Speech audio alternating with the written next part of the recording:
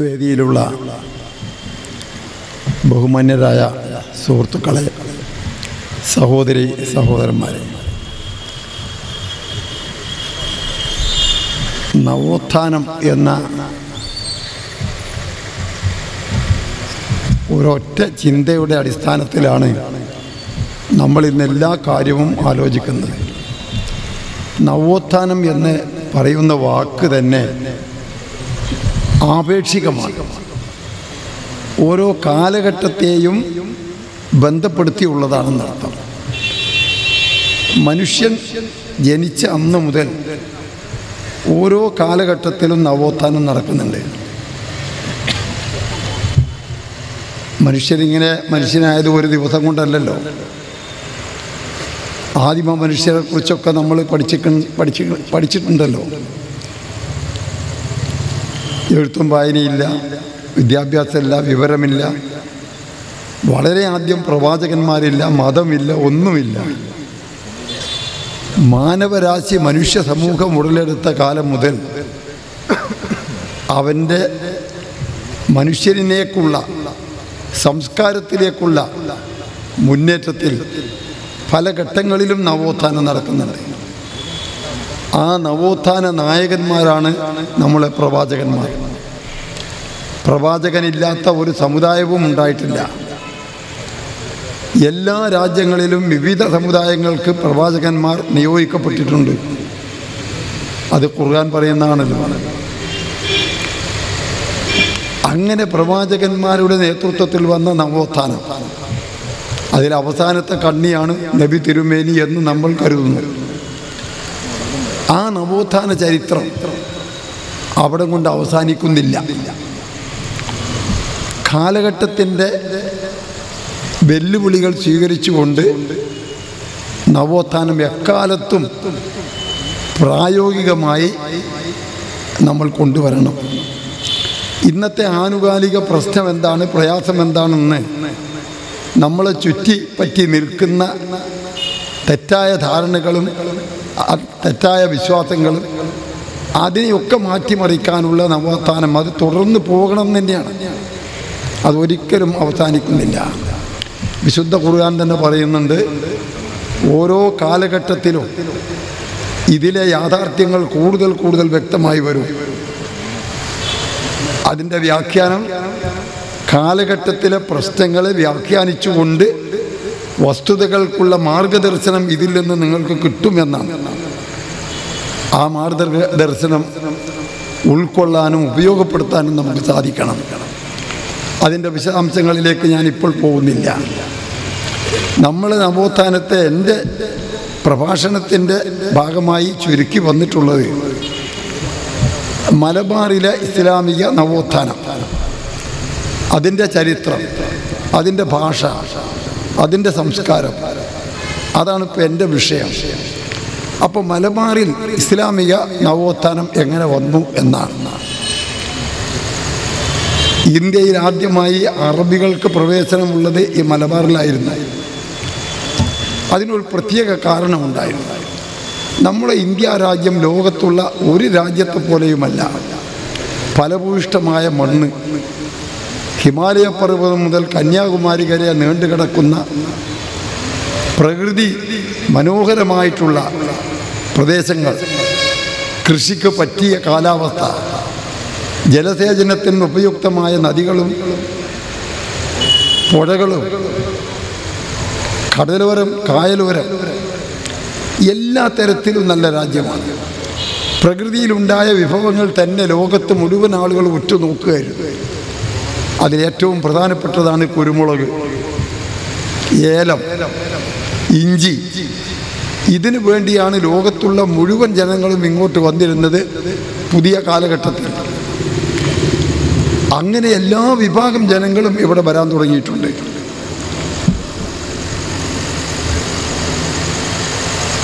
ഇവിടെ ജൂതന്മാർ എത്രയോ കൊല്ലം മുമ്പ് ഇവിടെ എത്തിച്ചേർന്നിട്ടുണ്ട്. യേശുവിന് ശേഷം ക്രിസ്ത്യൻ വിശ്വാസത്തിന്റെ ഒരു പ്രമാണിയായിരുന്നു സെന്റ് തോമസ്.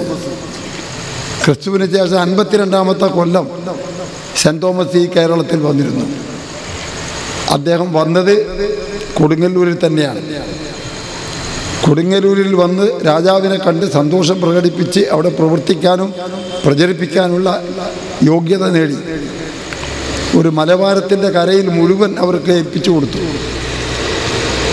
സിറിയയിൽ നിന്നാണ് അവർ വന്നത്. അതുകൊണ്ടാണ് സുരിയാനി ക്രിസ്ത്യാനി മലയുടെ കരയിൽ ജീവിച്ചതുകൊണ്ട് മലങ്കര സുനിയാനി ക്രിസ്ത്യാനിയായി. അതിന് മുന്നൂറ് കൊല്ലം മുമ്പ് ജൂതന്മാർ വന്നിട്ടുണ്ട്. അങ്ങനെ ജൂതന്മാർ ഇവിടെ താമസിച്ചു. ജൂത ജൂതപ്പള്ളി ഇപ്പോഴും കൊച്ചിയിലുണ്ട്.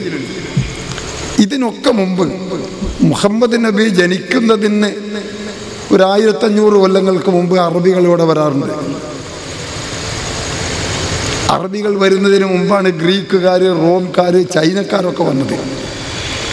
ഏറ്റവും പുരാതനമായത് ഗ്രീക്കും ചൈനയുമാണ്.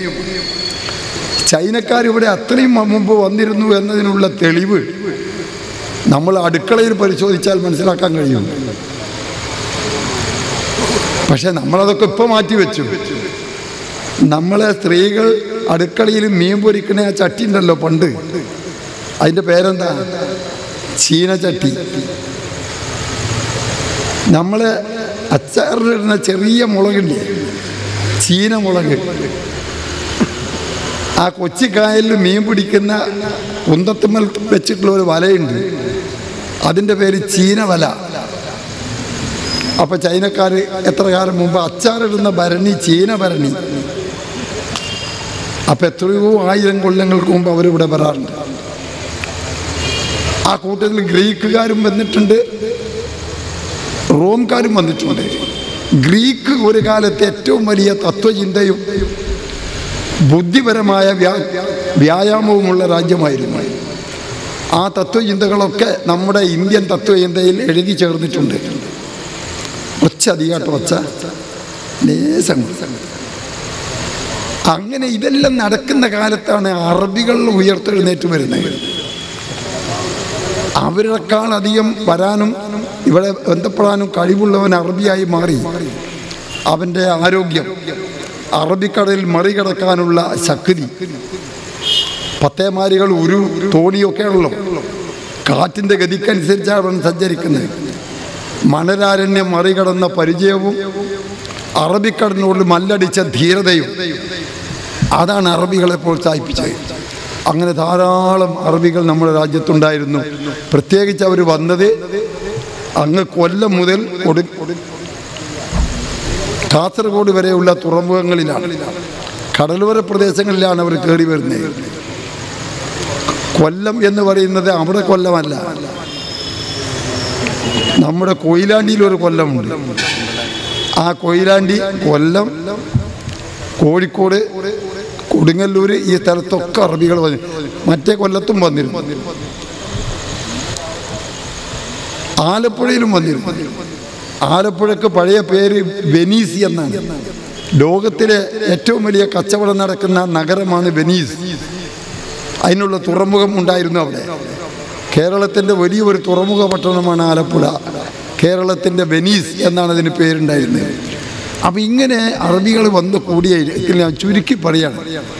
മലബാറിന്റെ ഇസ്ലാമിക സംസ്കാരങ്ങളല്ലോ ഞാൻ പറയുന്ന വിഷയം. ഈ കൂട്ടത്തിൽ അറബി കച്ചവടക്കാർ നാട്ടിൽ മുഴുവൻ നടന്ന് കച്ചവടം ചെയ്യുന്ന ആ സമയത്താണ് മുഹമ്മദ് നബി മക്കത്ത് രംഗത്ത് വരുന്നത്. ആ വരുന്ന കാലഘട്ടത്തിൽ നമ്മുടെ രാജ്യം ഭരിച്ചിരുന്നത് ചേരമാൻ പെരുമാക്കന്മാരായിരുന്നു. നമ്മൾ തമിഴ്നാട്ടിൽ നിന്ന് വിഭജിച്ചു പോകുന്ന ഒരു രാജ്യമാണ് കേരളം. നമ്മളെ ഒറിജിനൽ അമ്മ തമിഴ്നാടാണ്. ആ കേരളത്തിന്റെ ദീർഘകാലമായ ഭരണാധികാരികൾ ചോള പാണ്ഡ്യ ചേര ഈ മൂന്ന് രാജാക്കന്മാരായിരുന്നു. മൂന്നും തമിഴന്മാരാണ്. അതിൽ അവസാനത്തെ രാജാവാണ് ചോളമാൻ ചേരമാൻ പെരുമാക്കന്മാർ. അതിലെ അവസാനത്തെ രാജാവ് രാമശേഖര വർമ്മ. ഇദ്ദേഹത്തിന്റെ കാലത്താണ് നബി മക്കത്ത് വരുന്നത്. അപ്പോൾ അന്നത്തെ രാജാക്കന്മാർ ഇന്നും സാഹിത്യം കല ചിന്ത ആലോചന പഠനം ഇതിൽ വലിയ വിദഗ്ധന്മാരായിരുന്നു. നിങ്ങൾ കേട്ടാൽ കൊടുങ്ങല്ലൂർ കുഞ്ഞുകുട്ടൻ തമ്പുരാൻ എന്നൊക്കെ പറഞ്ഞ വലിയ കവി സാമൂതിരി രാജാവ് ഒരു കവിയായിരുന്നു. സ്വാതി തിരുനാൾ സംഗീതത്തിന്റെ രാജാവ്. ഇതൊക്കെ രാജാക്കന്മാരാണ്. കാരണം എന്താണ്? കലയും സാഹിത്യവും പുസ്തകവും കൊട്ടാരത്തിന്റെയും ഭരണത്തിന്റെയും ഭാഗമായിട്ടാണ് അന്ന് നടന്നു വന്നിരുന്നത്. അപ്പം നമ്മുടെ രാജാവ് നല്ല വിവരസ്ഥനും ബുദ്ധിയുള്ളവനുമായതുകൊണ്ട് അറബി കച്ചവടക്കാരിൽ നിന്നും മുഹമ്മദ് നബി എന്നൊരാൾ അറേബ്യയിൽ വന്നിട്ടുണ്ട് എന്ന വിവരം മനസ്സിലാക്കി. അദ്ദേഹത്തെക്കുറിച്ച് അന്വേഷിക്കണം പഠിക്കണം എന്നുള്ള ആഗ്രഹം വന്നു. അത് വെച്ച് അറബി കച്ചവടക്കാരിൽ കുറച്ച് വിവരമുള്ള ഒരു ചെറിയ വിഭാഗത്തെ അദ്ദേഹം കണ്ടുമുട്ടാനിട വന്നു അവരെ വിളിച്ച് കൊട്ടാരത്തിൽ വരുത്തി. അതിൽ ചില പണ്ഡിതന്മാരും ഉണ്ടായിരുന്നു.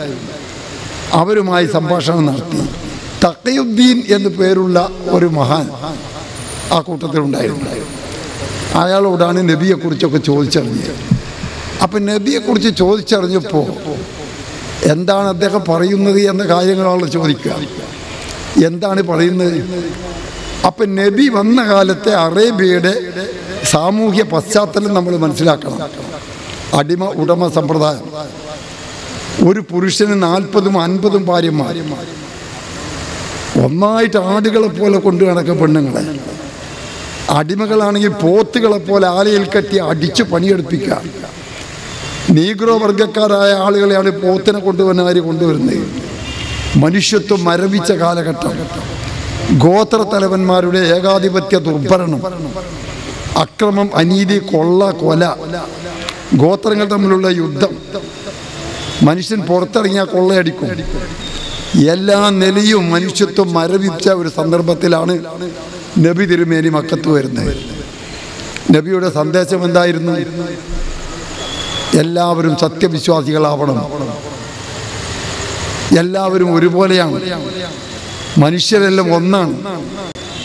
ഈ സന്ദേശത്തിൽ അന്ധവിശ്വാസങ്ങൾ മുഴുവൻ ദുർമാർജ നിഷ്കാസനം ചെയ്യണം. ഈ നിലക്കാളുള്ള നബിയുടെ തുടക്കം ഇതിനെക്കുറിച്ചാണ് നമ്മൾ രാജാവ് മനസ്സിലാക്കുന്നത് നമ്മൾ രാജാവിന്റെ ചുറ്റുപാട് എന്താണ്? അതിനെതിരായിട്ടുള്ള നവോത്ഥാന സമരമാണല്ലോ അന്നും ഇന്നും നടക്കുന്നത്. ഇവിടെയും അങ്ങനെ തന്നെയാണ്. സ്ത്രീകൾ അടിമകളാണ് മനുഷ്യന്മാരും അടിമകളാണ്. തൊടാൻ പാടില്ല കാണാൻ പാടില്ല അമ്പലത്തിൽ കടന്നുകൂടാ. ബ്രാഹ്മണനായ തമ്പുരാൻ അമ്പലത്തിന്റെ അകത്ത് നായർ ഉമ്മറപ്പടിമര് തീയ്യം കോലായ്മര് പട്ടികജാതിക്കാരൻ മൂന്ന് കിലോമീറ്റർ ദൂരത്ത്. നേരിട്ട് കണ്ട അപ്പ കുളിക്കണം. തമ്പുരാൻ അങ്ങോട്ട് നോക്കിയാൽ അവനെ അടി. തമ്പുരാനല്ല. അങ്ങനെ ചാതുർവർണ്യത്തിന്റെ അടിമത്വത്തിന്റെ എല്ലാ തരത്തിലുള്ള സമ്പ്രദായങ്ങളും അധ്വാനിക്കാൻ ഈ പാപങ്ങൾ അധ്വാന ഫലം സ്വന്തം ഉപയോഗിക്കാൻ പ്രമാണിമാർ മുണ്ടുടുക്കാൻ പാടില്ല കുപ്പായിടാൻ പാടില്ല മാറി മറക്കാൻ പാടില്ല സ്ത്രീകൾ. ഇതാണ് നമ്മുടെ നാട്ടിലുണ്ടായിരുന്ന സ്ഥിതി. ഇതിനെ നിയമം കൊണ്ടും മതം കൊണ്ടും അംഗീകരിച്ച കാലഘട്ടം. മനുസ്മൃതി എന്ന ഒരു ഗ്രന്ഥമാണ് ഇവരെ നയിക്കുന്നത്.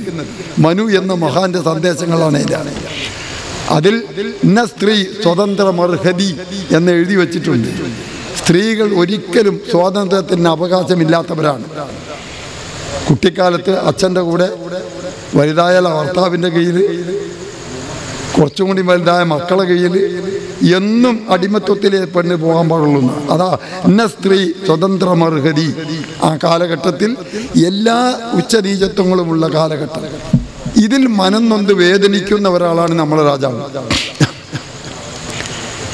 അയാൾ തക്കീദ്ദീനോട് ചോദിച്ചു മനുഷ്യന്മാരുടെ ഈ കെട്ടുബന്ധങ്ങളെ പറ്റി നിലവാരത്തെ പറ്റി നിങ്ങളുടെ ആ പ്രവാചകൻ എന്ന് പറയുന്ന മുഹമ്മദ് എന്താണ് പറയുന്നതെന്ന് ചോദിച്ചു. അപ്പൊ അദ്ദേഹം പറഞ്ഞു എല്ലാവരും സത്യവിശ്വാസികളാവണം. സത്യവിശ്വാസികളെല്ലാം ഏകോദര സഹോദരന്മാരാണ് തുല്യരാണ്. ഇന്നമൽ മുഗ്മിനൂന യഹ്വത്തുൻ യഹ്വത്താണ് ഒരാൾ വലിയവനും ചെറിയവനും ഇസ്ലാമിലില്ല. പ്രാർത്ഥനാ സമയത്ത് ഒരേ വരിയിലാണ് നിൽക്കുക. ഭക്ഷണം കഴിക്കുമ്പോൾ ഒരേ വട്ടത്തിലാണ് കഴിക്കുക. അവിടെ യാതൊരു വ്യത്യാസവുമില്ല. അത് കേട്ടപ്പോൾ തന്നെ നമ്മളെ രാജാവിന് ആവേശം വന്നു. പിന്നെ രാജാവിനും തമ്പുരാനും അല്ലാതെ സ്വത്തിന് ഉടമാവകാശം ഇല്ലല്ലോ നമ്മളെ നാട്ടിൽ. അവിടെ ഉണ്ടായിരുന്നില്ല അത് മാറ്റിയത് മുഹമ്മദ് നബിയാണ്.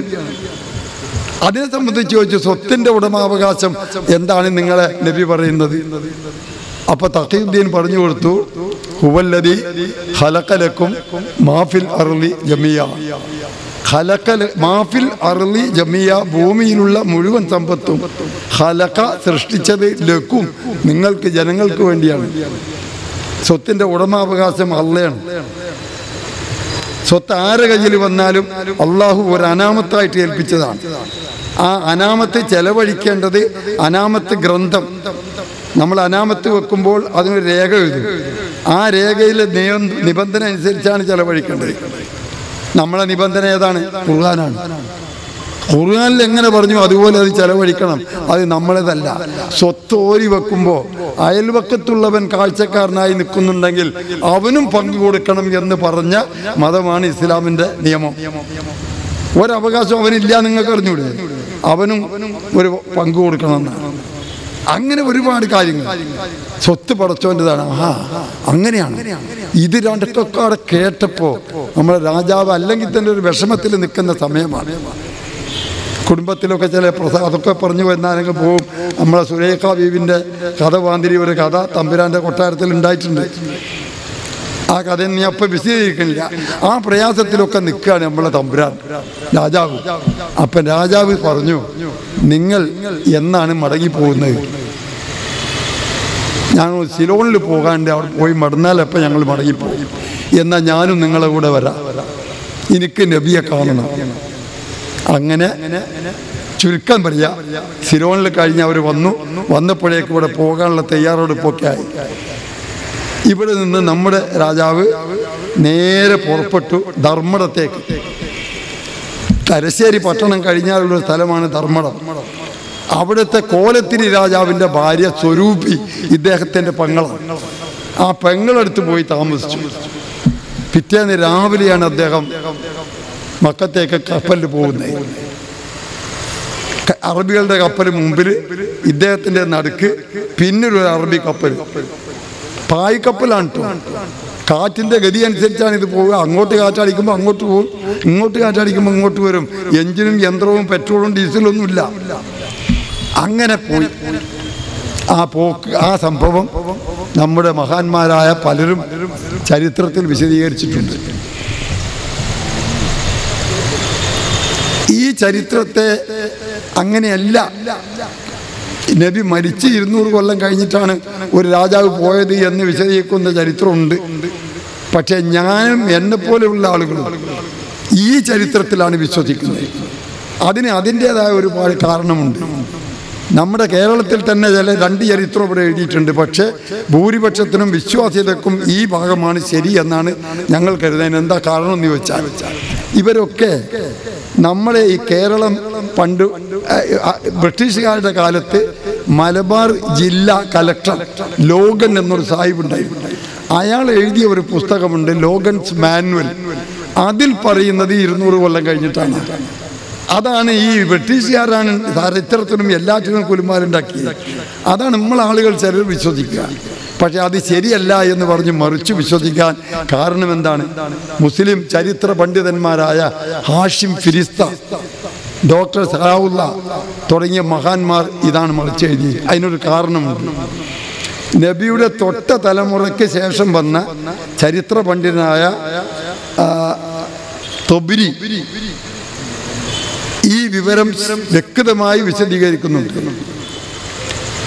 Jafar Abubakar Jafar Jafar Abubakar bin Jafar Tabari അദ്ദേഹത്തിന്റെ പേര്. അദ്ദേഹത്തിന്റെ ഒരു കിതാബുണ്ട്. ഫിർദൌസുൽ ഹിക്മത്ത് എന്നാണ് അതിന്റെ പേര്. ആ കിതാബിൽ ഈ ചരിത്രം എഴുതുന്നുണ്ട് അറബി പണ്ഡിതൻ. അതിപ്പോൾ വെറുതെ അവിടെ എഴുതി വെക്കൂലല്ലോ നമ്മുടെ രാജാവിന്റെ ചരിത്രം. അത് വെച്ചിട്ടാണ് ആഷിം ഫിരിസ്തയും മറ്റേ നൂറുള്ളയൊക്കെ എഴുതിയത്. ഇതെല്ലാം മനസ്സിലാക്കിയിട്ട് നമ്മുടെ നേരത്തെ പറഞ്ഞ മാപ്പിള മാപ്പിളക്കവി മോയിൻകുട്ടി വൈദ്യരുണ്ടല്ലോ. അദ്ദേഹത്തിന്റെ ചരിത്രപ്രസിദ്ധമായ ഒരു വ്യാഖ്യാനമാണ് മലപ്പുറം കിസ്സപ്പാട്ട്.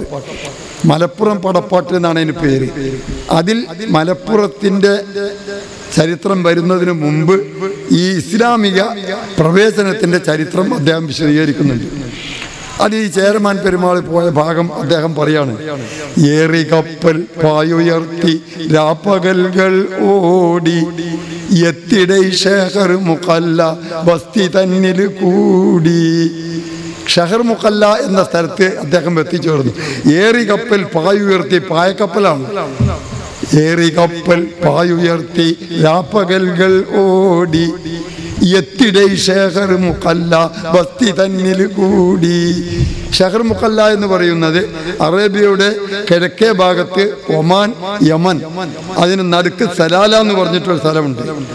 ആ സ്ഥലത്താണ് ഈ ഷഹർ മുഖല്ല എന്ന തുറമുഖ പട്ടണം. അവിടെ നമ്മളെ രാജാവും സംഘവും എത്തിച്ചേർന്നു. ചേർന്ന് എത്തിയ ഉടനെ അദ്ദേഹം അന്വേഷിച്ചു നബി അവിടെ ഉള്ളത്. താഹതങ്ങൾ എന്റെ കീലഹദ്ദ അത്തലത്തുണ്ടായിരുന്നാർ എന്റെ എത്തിയ ഉടനെ അദ്ദേഹം അന്വേഷിച്ചു എവിടെയാണ് നബി അപ്പൊ കീല പറയപ്പെട്ടു ഹദ്ദ ജിദ്ദ എന്ന സ്ഥലത്ത് നബിയും കൂട്ടരുമുണ്ട് സഹാബത്തും. ഇത് കേട്ടപ്പോഴൊക്കെ നമ്മളെ തമ്പുരാൻ നമ്മുടെ രാജാവിന് ആവേശഭരിതനായി രോമം ധരിച്ചു.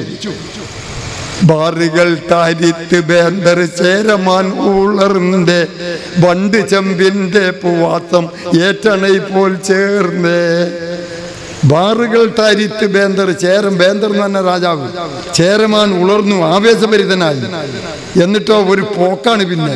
എങ്ങനെ കവി പറഞ്ഞ കവിയുടെ ഭാഷയില. വണ്ട് ചെമ്പിന്റെ പൂവാത്തം ഏറ്റണൈ പോൽ ചേർന്ന്.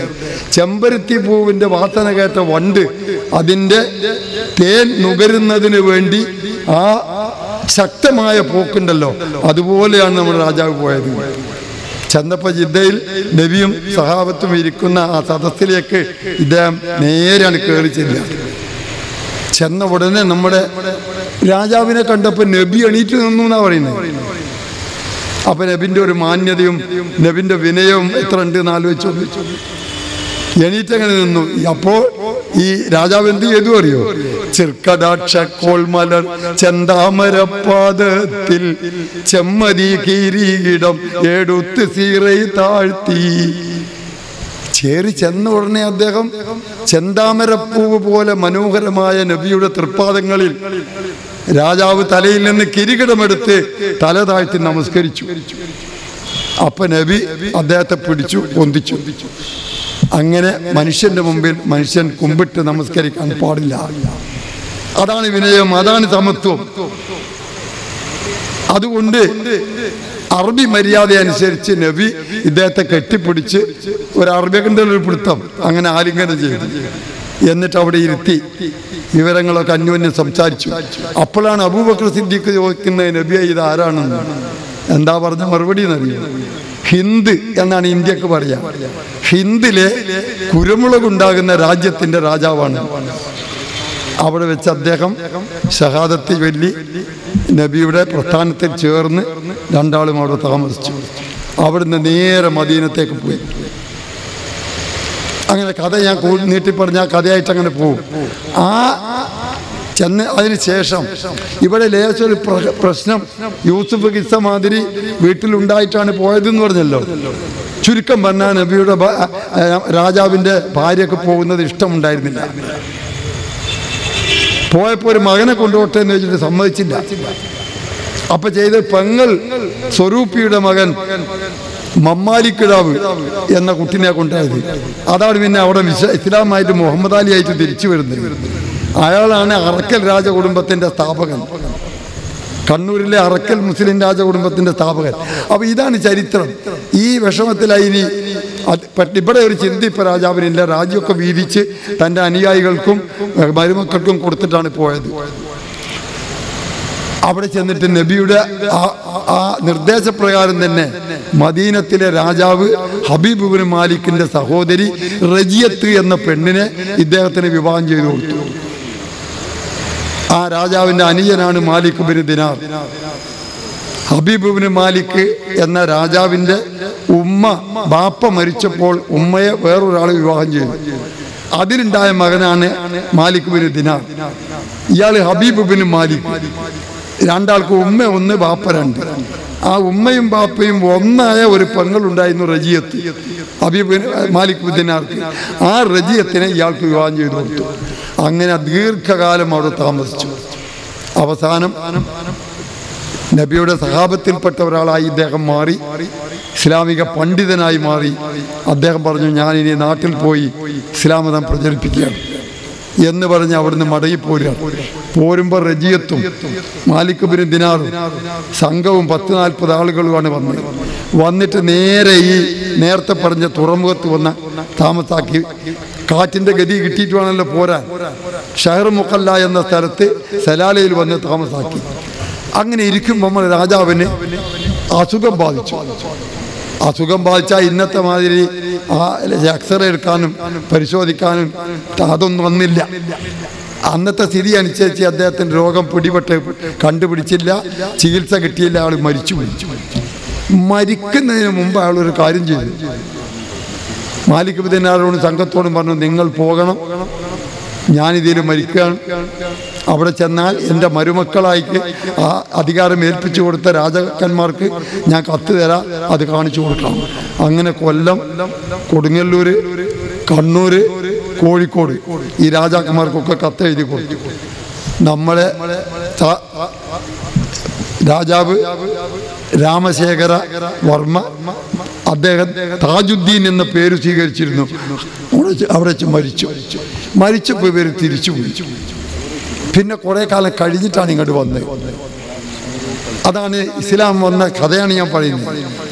പിന്നെ അബൂബക്കർ സിദ്ദീഖ് നബി മരിച്ചു. അബൂബക്കർ സിദ്ദീഖ് കഴിഞ്ഞു. ഉമർ ഖത്താബിന്റെ കാലത്താണ് പിന്നെ മാലിക് ബുദ്ദിനാറും കൂട്ടറും വരുന്നത്.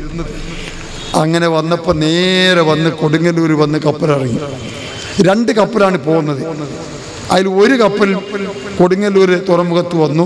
മറ്റേ കപ്പൽ നേരെ കായൽ പട്ടണം എന്ന സ്ഥലത്ത് തമിഴ്നാട്ടിൽ പോയിട്ടാണ് അടിഞ്ഞത്. അതിന്റെ പരമ്പരയിൽപ്പെട്ടതാണ് പൊന്നാനിയിൽ വന്ന സൈനുദ്ദീൻ മക്കതും തങ്ങളും കൂട്ടരും. ഇവിടെ വന്നത് മാലിക് ബുദ്ദിനാർ തങ്ങളും കൂട്ടരുമാണ് ഇവിടെ വന്നത്. അവർ വന്ന് നമ്മുടെ രാജാവിന് കത്ത് കാണിച്ചു. കത്ത് കണ്ടപ്പോൾ വലിയ സന്തോഷമായി അന്നൊന്നും ഈ മാതിരിയുള്ള വൈരാഗ്യവും വിദ്വേഷവും ഒന്നുമില്ല. എന്താണ് പറയാൻ? ഈ രണ്ട് സന്ദേശം പ്രചരിപ്പിക്കാനല്ലേ? അതുകൊണ്ട് ഇവിടെ തന്നെ ചാതുർവർണയം കൊണ്ടും അടിമത്വം കൊണ്ടും അടിമവേല കൊണ്ടും സ്ത്രീകളുടെ അതിക്രമണം കൊണ്ട് കഷ്ടപ്പാടില്ല. ഇവിടെ നിങ്ങൾ പ്രചരിപ്പിച്ചുകൊണ്ട് ഒരു വിരോധമില്ല എന്ന് പറഞ്ഞാൽ സൗകര്യം കൂടി മാത്രമല്ല നിങ്ങൾ അറിവിന് വേണ്ടി ഞാൻ പറയാണ് കൊടുങ്ങല്ലൂരിലെ രാജകുടുംബത്തിന്റെ കൊട്ടാരത്തിനകത്തുണ്ടായിരുന്ന രണ്ട് അമ്പലങ്ങളിൽ ഒന്ന് മാലിക് ദിനാർക്കും സംഘത്തിനും ആരാധനയ്ക്ക് വേണ്ടി വിട്ടുകൊടുത്തു. ആ അമ്പലത്തിന് ഇന്നും അവിടെ യാതൊരു കേടുകൂടാതെ മുൻപിലൊക്കെ കുറച്ച് നന്നാക്കിയിട്ടുണ്ട്. അവിടെ നിൽക്കുന്നുണ്ട്. ആ അമ്പലത്തിന്റെ പേര് മാലിക് ദിനാർ പള്ളി എന്നാണ്. അല്ല ചെയർമാൻ പെരുമാൾ പള്ളി എന്നാണ്. ചെയർമാൻ മോസ്ക്. അതിനകത്ത് ഔത്തേപ്പള്ളിയിൽ ഒരു നിലവിളക്കുണ്ട്. ഇന്നും ആറു മണിയായ വിളക്ക് എത്തിക്കും ആ പഴയ അമ്പലത്തിന്റെ സംസ്കാരം നിലനിർത്തി അങ്ങനെ തന്നെ പോരുകയാണ്. ഇന്നും പള്ളിയിലുണ്ടല്ലോ ദർസിലിരിക്കുക നമ്മളിപ്പോൾ മുത്തപരി തോതാൻ വേണ്ടിയിട്ട്. ആ ദർസിലിരുന്ന് അവിടുന്ന് പഠിച്ച് പാസ്സായി പൊന്നാനിയാണ് ഏറ്റവും പഴയ കാലത്ത് ഏറ്റവും അധികം ഇസ്ലാമത പഠനം നടത്തുന്ന പള്ളി. അവിടുന്ന് പഠനം പൂർത്തിയാക്കി യോഗ്യത നേടി സെനതെടുത്ത് പത്തുവേൽമേനും തഫ്സീറും ഒക്കെ കഴിഞ്ഞ് ഒരു സർട്ടിഫിക്കറ്റ് കൊടുക്കും. ആ സർട്ടിഫിക്കറ്റ് കൊടുക്കുന്നത് വിളക്കിന് ഇരുത്തുക എന്നാ പറയാ. ഈ വിളക്കിന്റെ ചുറ്റുഭാഗത്ത് ഇരുന്ന് ദ്വയർന്ന് സർട്ടിഫിക്കറ്റ് കൊടുത്തിട്ടാണ് വിടുക അത്രയും മൈത്രിയിലും സ്നേഹത്തിലുമാണ് കാര്യങ്ങൾ പോയിരുന്നത്. അങ്ങനെ ഈ വന്ന മാലിക് ബുദ്ധനാർ സംഘത്തിന്റെയും പ്രചരണം. ആ പ്രചരണം കേട്ട് ഇതിലേക്ക് കടന്നു വന്നത് ആരാന്നറിയോ? അവിടെയാണ് പുനർ നവോത്ഥാനത്തിന്റെ പ്രശ്നം വരുന്നത്.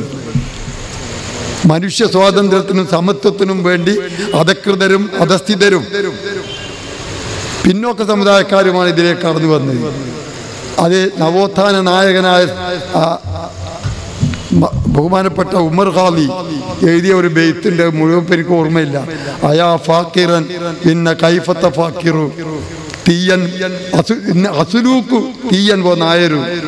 തീയനും നായരും ചെറുമനും കണക്കനും അവരാണ് നിങ്ങളെ ഒറിജിൻ. അവർ കടന്നു വന്നതാണ് നിങ്ങൾ എന്ന് ഉമർ എഴുതിയിട്ടുള്ള ഖാദി ബൈത്തൻ പാട്ടും ബെയ്ത്തുണ്ട്. അതുപോലെ അവരാണിത് ഈ കടന്നു വന്നത്. അപ്പോൾ ആ വിഭാഗം അന്ന് ഇവിടെ ഉണ്ടായിരുന്നത് തമ്പുരാൻ കഴിഞ്ഞാൽ പിന്നെ നായർ തീയര് പിന്നെയാണ് അധികൃത സാധുക്കൾ വരുന്നത്. സാധുക്കളാണ് അടിമവർഗം. അവരിൽ രണ്ട് വിഭാഗമുണ്ട്. ഒരു വിഭാഗം ആ ചരിത്രം വേറെയാണ്. മല കയറി ഒരു വിഭാഗം താഴെ നിന്നു. താഴെ നിന്നവരാണ് ചെറുമൻ കുറുമൻ കണക്കൻ പാണൻ പറയൻ പൊലയൻ. മേലെ കയറിയവരാണ് പണിയൻ അറുനാടൻ മലമുത്തൻ നായക്കൻ ചോലനായക്കൻ കന്നുല്ലേ മലയിൽ അവർ രണ്ടും ഒന്നാണ്. അവർ ദ്രാവിഡന്മാർ വന്നപ്പോൾ പേടിച്ച് ഓടി കയറിയതാണ്. ഇവരിവിടെ നിന്നവരാ. ഇതുവരെ അടിച്ചു പണിയെടുപ്പിച്ചാണ് ഈ ഉയർന്ന സമുദായം കാര്യങ്ങൾ നടത്തിയിരുന്നത്. ഈ അടിമത്വത്തിൽ നിന്ന് രക്ഷപ്പെടാൻ അവരാണ് കൂട്ടത്തോടു കൂടി ഇതിലേക്ക് കടന്നു വന്നത്. ഒരു കാര്യങ്ങൾ മനസ്സിലാക്കേണ്ടത് ഇവരൊക്കെ എങ്ങനെയാണെങ്കിലും ഈ പഴയ ഈ വിഭാഗമാണല്ലോ കേരളത്തിന്റെ പഴയ കാലത്തെ ഉടമകളും മനുഷ്യരും. അവർക്ക് അവരുടേതായ സംസ്കാരവും പാരമ്പര്യവും ഉണ്ട്. പാണം പാട്ട് എന്ന് കേട്ടിട്ടുണ്ട്?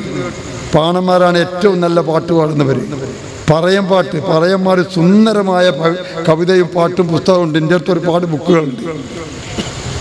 പറയനും പുലയനും നല്ല പാട്ടുകാരാണ്. കവിത എഴുതുന്ന ആ ഈ പൊലവന്മാർ ഇവിടെയൊക്കെ ഇസ്ലാമായപ്പോൾ തമിഴ്നാട്ടിലും ഇസ്ലാമായല്ലോ. പക്ഷെ അവർ പൊലവർ എന്നുള്ള പേര് മാറ്റിയിട്ടില്ല. ഈ പടപ്പാട്ടുകളിലെ ആദ്യത്തെ പടപ്പാട്ട് ജക്കും പടപ്പാട്ട് എന്നൊരു പടപ്പാട്ടാണ്. ആ പടപ്പാട്ട് എഴുതിയ പുലവർ മൊഹിയദ്ദീൻ എന്നാണ്. ആര് തമിഴ് ജക്കും പടൈ പോർ എന്നാണ് അതിന്റെ പേര്. തമിഴിലാണ്. അത് ഉമർ ആലിം ലബ്ബ എന്നൊരു പണ്ഡിതൻ പൊന്നാനിക്കാരൻ അറബി മലയാളത്തിലേക്ക് തർജമ ചെയ്താണ് ദക്കും പടപ്പാട്ട്. അതാണ് ആദ്യത്തെ പടപ്പാട്ട്. പിന്നെയാണ് ബദർ പോയത് ഉനയിന് കന്തക്ക് മലപ്പുറം പടയൊക്കെ വരുന്നത് ചെറൂർ പടയൊക്കെ. ആദ്യത്തത് ഇത് ആദ്യത്തെ എഴുതിയ ഇദ്ദേഹമാണ്. അയാൾ ഇപ്പോഴും പുലവറാണ്. അപ്പൊ അവരെല്ലാം കൂടിയാണ് ഇതിൽ കടന്നു വന്നപ്പോൾ ചുരുക്കം പറയാ ഈ വന്ന ആളുകൾ വരുമ്പോൾ അവരുടെ സംസ്കാരവും അവരുടെ പരിചയവും പാരമ്പര്യവും കൂട്ടിയിട്ടാണ് ഇതിൽ വരിക. അത് മാറ്റാൻ കഴിയൂലല്ലോ. ഒരിക്കലും മാറ്റാൻ കഴിയില്ല. അങ്ങനെ പലതും നമ്മളിൽ വന്നു ചേർന്നിട്ടുണ്ട്. ഗ്രീക്കുകാരും റോമുകാരും വന്നപ്പോൾ ഗ്രീക്ക് ചിന്തയും റോം തത്വശാസ്ത്രവും നമ്മൾ ഇസ്ലാമിലേക്ക് കുറെ കടന്നു കൂടിയിട്ടുണ്ട് എന്ന് നമ്മളെ പണ്ഡിതന്മാർ തന്നെ സമ്മതിക്കുന്നുണ്ട്. അതുപോലെയാണ് ഇവർ കടന്നു വരുമ്പോൾ ഇവരുടെ പാട്ടും കളിയും തമാശയും ഒക്കെ ഇതിൽ വന്നു. ഇനി ആ ആ സമുദായം വളർന്നു വന്ന കഥ അവരെല്ലാം കൂടി കൂടി ചേർന്നപ്പോൾ ഇവർ അങ്ങോട്ടും അവരിങ്ങോട്ടും വിവാഹവും ബന്ധുവായി ഈ വന്നു ചേർന്നവരെ എപ്പോഴും മാപ്പിള എന്നാണ് വിളിക്കുക. ജൂതന്മാരെ വിളിച്ചിരുന്നത് ജൂത മാപ്പിള എന്നാണ് ക്രിസ്ത്യാനികളി മാപ്പിള എന്നാണ് വിളിക്കുക. ക്രിസ്ത്യൻ മാപ്പിള മാമൻ മാപ്പിള എന്ന് കേട്ടിട്ടില്ലേ മലയാള മനോരമന്റെ സ്ഥാപകൻ മാമൻ മാപ്പിള ക്രിസ്ത്യൻ മാപ്പിള ജൂത മാപ്പിള അതുപോലെ ഇസ്ലാമിനെയും മാപ്പിള എന്ന് വിളിച്ചു. പല വ്യാഖ്യാനങ്ങളുണ്ടെങ്കിലും വിശ്വാസയോഗ്യമായ വ്യാഖ്യാനം അതാണ് വന്ന് ഇവിടെ ഇപ്പൊ കോഴിക്കോട്ട് നമ്മളെ മാതിരി പുതിയാപ്പിള പോകലല്ല പുതിയാപ്പിള വരവ. പുതിയാപ്പിള എന്നാൽ ആ വീട്ടിലെ ഒന്നും പുതിയാപ്പിള നമ്മളിവിടെ പറയില്ല അതിന്റെ മോളെ മാപ്പിളയാണ്. പെണ്ണുങ്ങൾ പറയും എന്റെ മാപ്പിള എന്ന് പറയും. മാപ്പിള എന്ന് പറഞ്ഞാൽ പെണ്ണിന്റെ അടുത്തൊക്കെ ഈ വീട്ടിലേക്ക് വന്നവൻ. അതുപോലെ കേരളത്തിലേക്ക് വന്നവനാണ് മാപ്പിള. അങ്ങനെയാണ് ഈ വന്നവരും നിന്നവരും കൂടി ചേർന്നുണ്ടായ വലിയ ഒരു സമൂഹം. അതാണ് മാപ്പിളമാർ ഈ മാപ്പിളമാരുടെ സംസ്കാരവും ചരിത്രവും ഭാഷയും പിന്നെ എങ്ങനെ ഉണ്ടായി എന്നാണ് നമ്മൾ നോക്കേണ്ടത്.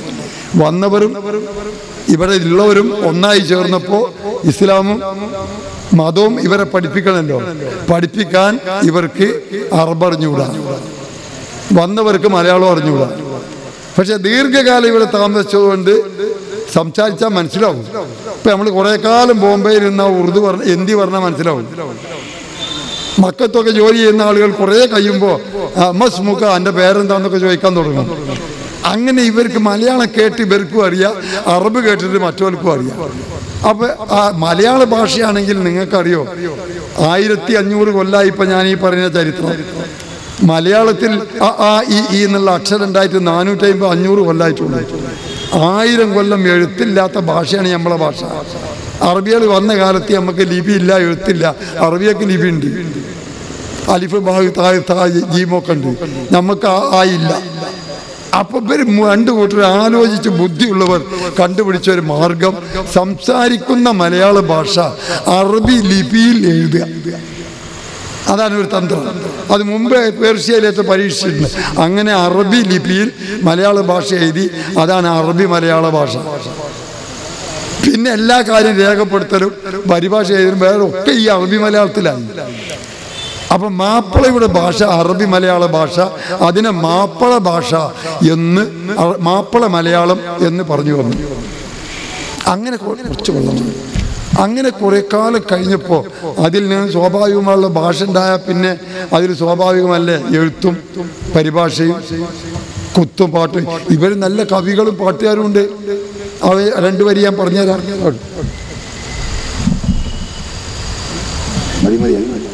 ഒന്ന് നനച്ചാൽ മതി. അപ്പൊ ഈ ഭാഷ വന്നു കഴിഞ്ഞാൽ പിന്നെ ആ ഭാഷയിൽ ചിന്തിക്കുകയുള്ളൂ ആ ചിന്തിക്കുന്നതാണ് പുസ്തകമായിട്ടും അറബായിട്ടും കത്തായിട്ടും പാട്ടൊക്കെ ആയിട്ട് വരുന്നത്. അപ്പൊ ഈ പുലവരും പാണരും ഒക്കെ നല്ല പാട്ടുകാരാണ്. നല്ല കളിക്കാളി നാടൻ കളി. ആ കളിയും ഈ പാട്ടും ഇതെല്ലാം കൂടി കൂടിക്കലർന്ന. അറബികളാകെ നമുക്ക് സംഭാവന ചെയ്ത രണ്ട് കളിയേ ഉള്ളൂ. ദഫും മുട്ടും അറബനി. ബാക്കിയൊക്കെ നമ്മളതാണ് നമ്മളെന്ന് പറഞ്ഞാൽ ആര്? ഇസ്ലാമിലേക്ക് ചേർന്ന സമുദായത്തിന്റെ പിൻഗാമികൾ. നമ്മൾ അറബികളല്ലോ ഇപ്പം എന്നെ കണ്ട അറബിയാ തോന്നുമോ നിങ്ങൾ ഇരിക്കണിയിൽ ആരെങ്കിലും അറബി ഉണ്ടോ? നമ്മളൊക്കെ ഈ പഴയ പറഞ്ഞ പിന്നോക്ക സമുദായം ഇസ്ലാമിലേക്ക് പരിവർത്തനം ചെയ്തതാണ്. ഞാൻ ആരാന്ന് എനിക്കറിയാം. നിങ്ങൾ ആരാന്നൊക്കെ നിങ്ങൾ അന്വേഷിച്ച് നോക്കിയാൽ മതി. ഞാൻ ഏത് മതത്തിൽ നിന്ന് വന്നതാണെന്ന് എനിക്ക് നന്നായിട്ട് അറിയാം ഞാൻ എന്റെ ആത്മകഥാ പുസ്തകത്തിൽ എഴുതി വെച്ചിട്ടുണ്ട്. അതിലൊന്നൊരു മടി കാണിച്ചിട്ട് കാര്യമില്ല. അപ്പം ഈ വന്നപ്പോൾ ഭാഷയും സംസ്കാരവും കൊണ്ടുവന്നു. അത് ഇതിൽ കൂടി അറബിന്റെ ഒരു ടച്ചുമായി അങ്ങനെ കോൽക്കളി ഉണ്ടായത് ഈഴവ സമുദായത്തിന്റെ ആയോധന കലയിൽ നിന്നാണ് കോൽക്കളി വരുന്നത്. ഇന്ന് കലോത്സവത്തിലും കഴിഞ്ഞ സമയം പലതിലും വരുന്ന ഒരു കളിയാണുള്ളത് ഒപ്പന. ഒപ്പനന്റെ കഥ കേൾക്കണമെങ്കിൽ ഒപ്പന എന്ന് പറയുന്നത് ക്രിസ്തുവിന്റെ മുന്നൂറ് കൊല്ലം മുമ്പ് വന്നിട്ടുള്ള ജൂതന്മാരുടെ കളിയാണ്. അതിന് ഒഫ്ന എന്നാണ് അവർ പറയുക അതിന് തുല്യമായ ഒരു കവി നമ്മളെ നമ്പൂരി തറവാട്ടിലുണ്ടായിരുന്നു ഒപ്പപ്പാന എന്ന് പറയും ആ ഒഫ്നയും ഒപ്പപ്പാനയും കണ്ട് പഠിച്ചിട്ട് ക്രിസ്ത്യാനികൾ ഒരു ഒരു പാട്ടുണ്ടാക്കി. അതിന് മാർഗം കളി എന്നാണ് പറയുന്നത്. ഇത് മൂന്നും കൂടി കണ്ടു പഠിച്ചിട്ടാണ് നമ്മളെ മാപ്പിളാര് ഒപ്പന ഉണ്ടാക്കിയത് മണ്ടകത്ത് മംഗലപ്പു മാരനും വന്താനെ മങ്കിടാതം മായി വന്ന് മാനിതം കണ്ടാനെ. അതാണ് ഒപ്പന. അതങ്ങനെ ഉണ്ടായി തീർന്നാണ് അല്ല അറബികൾ കൊണ്ടുവന്നൊന്നുമല്ല കോൽക്കളി എന്ന് പറഞ്ഞാൽ വടക്കേ മലബാറിലെ ഈഴവര് തീയര് കളിച്ചിരുന്ന ആയോധന കല വെട്ടും തടവും. ആ വെട്ടും തടവുമാണ്. ഇങ്ങനെ അടിക്കുമ്പോൾ മറ്റോ വടി കൊണ്ട് തല്ലുമല്ലോ അതിൽ നിന്നാണ് ഈ കളി ഉണ്ടായത്. അതിൽ പിന്നെ നമ്മളെ പാട്ടും തിരുത്തുമൊക്കെ ആയപ്പോൾ നല്ല രസമായി അറബികളെ വക ചില ബെയ്ത്തും കാര്യമൊക്കെ അതിന്റെ അകത്ത് തന്നിട്ടുണ്ട്. എല്ലാം കൂടി ആയപ്പോൾ വലിയ അപ്പം അങ്ങനെയാണ് കലകളും സാഹിത്യങ്ങളും ഒക്കെ ഉണ്ടായി. ആ സാഹിത്യത്തിൽ ഒരുപാട് പുസ്തകങ്ങളും ഗ്രന്ഥങ്ങളും. അങ്ങ് പേർഷ്യയിലെ കഥകൾ വരെ ഇവിടെ അറബി മലയാളത്തിലേക്ക് ട്രാൻസ്ലേറ്റ് ചെയ്തിട്ടുണ്ട്. നമ്മുടെ മലയാളത്തിൽ നോവലുകൾ കഥകൾ ഉണ്ടാകുന്നതിന്റെ എത്രയോ കൊല്ലം മുമ്പ് ഈ ഓ ചന്തുമേനോന്റെ ഇന്ദുലേഖ എന്നതാണ് കേരളത്തിലെ ആദ്യത്തെ നോവൽ. അതിവിടെ വരുന്നതിന്റെ ആറ് കൊല്ലം മുമ്പാണ് പേർഷ്യയിലെ കുൽ സെനോബർ എന്ന ഒരു കഥ ഇവിടെ അറബി മലയാളത്തിൽ വരുന്നത്. കുൽ എന്ന സ്ത്രീ സെനോബർ രാജനോട് എന്ത് ചെയ്തു? അതുപോലെ തന്നെ ചാഹർ ദർവേഷ്. അഞ്ച് പണ്ഡിതൻ മഹാന്മാർ എന്നൊരു പുസ്തകം. ഇതൊക്കെ അന്നേ വന്ന അപ്പൊ അങ്ങനെയാണ് ഈ നമ്മളെ ഇതിലെ കലയും സാഹിത്യവും പാട്ടുകളും. അങ്ങനെ വന്നപ്പോൾ രണ്ടും കൂടി കൂടി കലർന്ന് ഒരു ടച്ച് ഉണ്ടായി. പഴയ പാരമ്പര്യം വെച്ച് നമ്മൾ പാട്ടുകളും ഉണ്ടായി. ഈ മാപ്പിളപ്പാട്ട് എന്ന് പറഞ്ഞാൽ അതാണ്. അങ്ങനെയാണ് ഉണ്ടായത് എന്നുള്ളത് നിങ്ങൾക്ക് മനസ്സിലാക്കാൻ ഒന്ന് രണ്ട് ഉദാഹരണങ്ങൾ ഞാൻ പറഞ്ഞതാണ്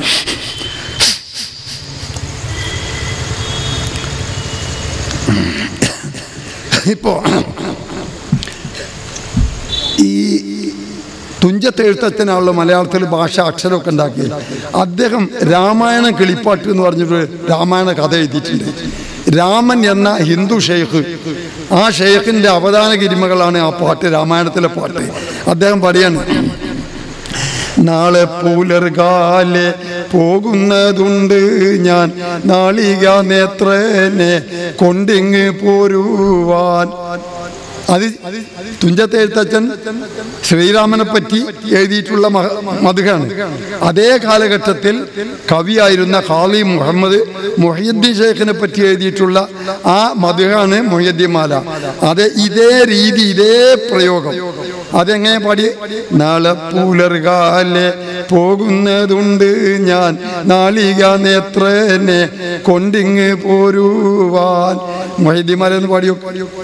അല്ലാ തിരുപേരും തുതിയും തലവാത്തും അതിനാൽ തുടങ്ങുവാൻ അരുൾ ചെയ്ത വേദാംബർ മുത്തും മാണിക്കവും ഒന്നായി കോർത്തേ പോൽ കോർത്തേ നിമ്മാലേ മുയ്യദ്ദിമാലേനെ കോർത്തേ ഞാൻ ലോകേരെ നാളെ പുലർകാലെ. ഒരേ മാതിരിയല്ലേ?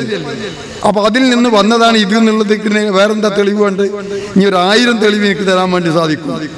മറ്റൊന്ന് നോക്കും.